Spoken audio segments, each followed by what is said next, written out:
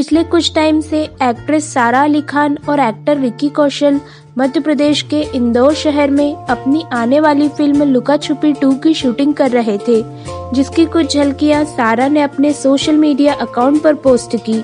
Actress ने अपनी film के कुछ सीन खरगोन ज़िले के महेश्वर घाट पर नर्मदा किनारे भी शूट किए, जिसमें एक सीन में सारा और विक्की ने नर्मदा के तट पर निमाड़ी भगोड़िया डांस किया।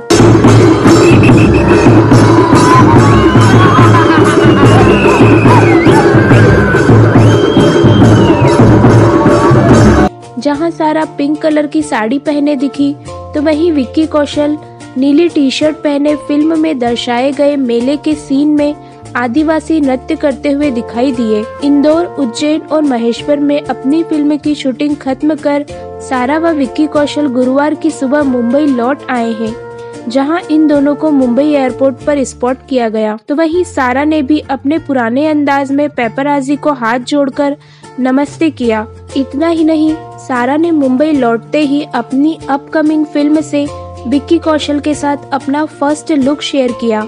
और विक्की के लिए एक प्यारा सा नोट भी लिखा। सारा कहती है, पंजाबी गीतों और अलाव का आनंद लेने से लेकर सुबह की ड्राइव तक इस यात्रा को मेरे लिए इतना यादगार बनाने के लिए धन्यवाद।